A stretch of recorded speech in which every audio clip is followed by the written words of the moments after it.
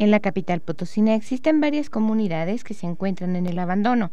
Tal es el caso de la comunidad de Miraflores, ubicada en las orillas del periférico norte, que en los tiempos de lluvia padecen las inundaciones y durante la temporada invernal tienen que resistir el frío en sus casas con techos de lámina. Alma vive en la comunidad. Su casa es de bloc y techo de lámina.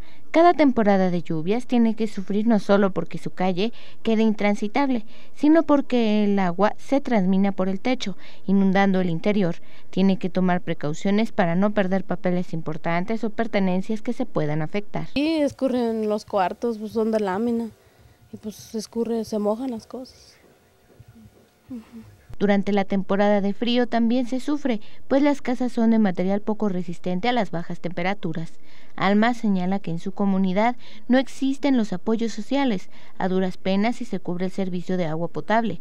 No cuentan tampoco con alumbrado público, por lo que asegura que los vecinos son gente trabajadora que tiene que luchar por lo poco que tiene, pues están en completo abandono de las autoridades. No, por, ejemplo, ir a trabajar, porque si andamos a vuelta y vuelta, imagínense pues con qué recursos vamos a ir a pedir a la unidad, ¿verdad?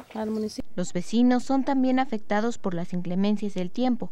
Sin embargo, y pese a estar en la mancha urbana, son olvidados por las autoridades y el resto de la sociedad. Piden que se les haga llegar los apoyos sociales y programas para poder mejorar su condición de vida, así como servicios básicos como alumbrado, vigilancia e infraestructura vial. Para Global Media, Berenice Gutiérrez.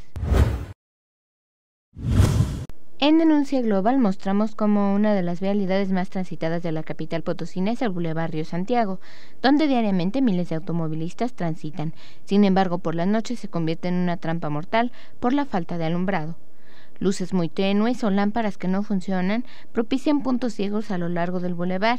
El riesgo no solo es caer en un bache o no distinguir las boyas para la reducción de velocidad, sino el encontrarse con otro vehículo o bien no distinguir las curvas y estamparse contra un muro.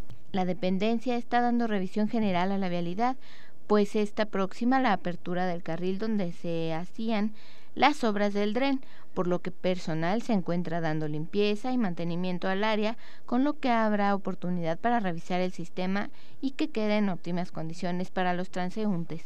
Para Global Media, Berenice Gutiérrez.